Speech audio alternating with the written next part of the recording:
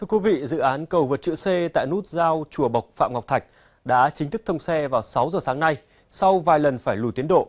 Đây là dự án giao thông được người dân thủ đô chờ đợi để giảm áp lực giao thông trên tuyến đường thường xuyên xảy ra ùn tắc này. Sau gần 2 năm thi công, cầu vượt chữ C cũng chính thức khánh thành với kết cấu thép lắp ghép trực thông uốn cong theo hướng từ Chùa Bộc đến Phạm Ngọc Thạch.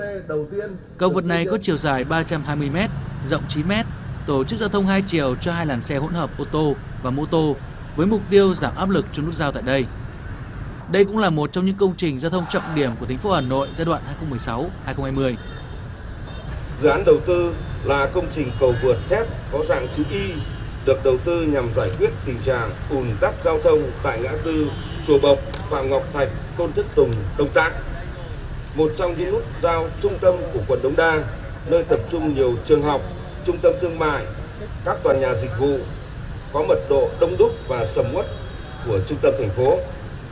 Giai đoạn trước mắt khi chưa giải phóng mặt bằng để mở rộng đường Tôn Thất Tùng, Ủy ban dân thành phố quyết định đầu tư trước cầu vượt thép có dạng chữ C.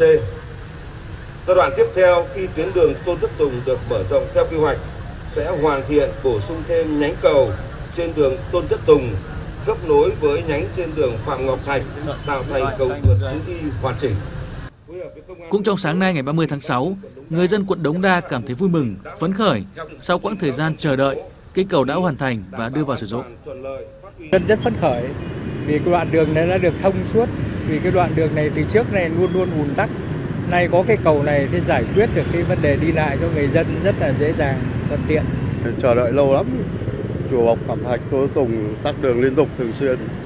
Chắc chắn nếu mà cầu đi vào hoạt động thì sẽ thông đường tốt và sẽ không bị tắc. Đấy thì anh ở cái dân ở đây là anh biết. Sẽ tiện cho cái ngã tư này rất nhiều. à, thời gian này nó tắc gây tắc nhiều quá. Mọi người à, đi trên đường mà nhất là buổi sáng này đi làm này rất là hay bị muộn.